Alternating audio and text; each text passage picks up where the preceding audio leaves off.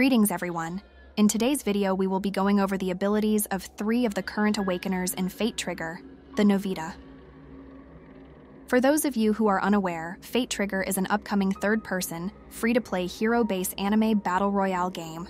The game was unveiled fairly recently and looks extremely promising. We did get an invite to their creator program, so if you guys would like to see more Fate Trigger content, be sure to hit that like button. Drop a comment below and let me know if this looks interesting to you or if it's another pass. My goal is to try to grab a couple alpha test keys to share with some lucky commenters so for a chance to win access. Share those thoughts below. With that out of the way, let's get on with the video. I don't know the proper terms they will end up using for the character skills, so for now I will refer to them as passive, tactical, and ultimate. The first character we will be taking a look at is the Veiled Shadow, Huxley. If you've played other tactical based shooters before, you will be very familiar with this type of character. Her tactical mark of rouge will scan the area and mark nearby target for her and her allies. In a game where map awareness can mean the difference between life and death, the ability to reveal enemy locations is no laughing matter. If she had scanned more, then one enemy in that building she likely would not have made that push. But knowing it was a single target and seeing said target's exact location made cleaning them up all too easy for her.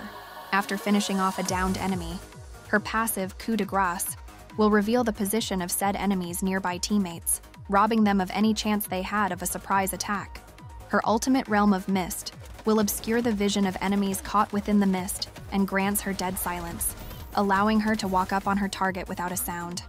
My girl is your friendly neighborhood bloodhound, and I'm gonna call it right now. Pretty much every team you roll up on in this game will likely have a Huxley in it. Our next character plays more of a defensive role on the team and goes by the name Starhopper Kira. Frontier at my fingertips. Her tactical halo shield allows her to create a holographic composite shield to make cover where there were no cover. The shield is made up of four parts, and each part can be destroyed separately. Allied fire can pass through the top part of the shield, and up to four shields can exist at any time. I wonder how difficult it's going to be to destroy the shield. Regardless, this is a very useful ability to have in one's back pocket. Her ultimate digital fortress allows her to summon a holographic two story fortress. And the best part? She didn't even have to crank a 90 to do so. The fortress comes with four surrounding jump pads, allowing her and her allies to leap to the top floor.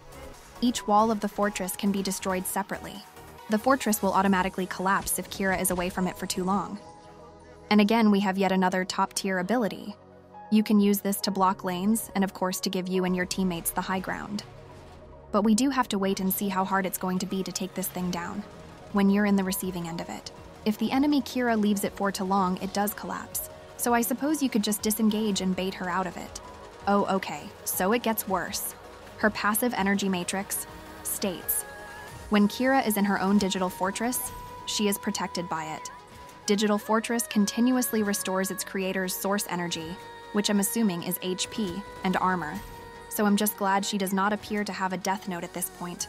I wonder if when she is in her own digital fortress means there can be more than one Kira in a team, or just to prevent an enemy Kira from leeching off a random fortress, whichever it is.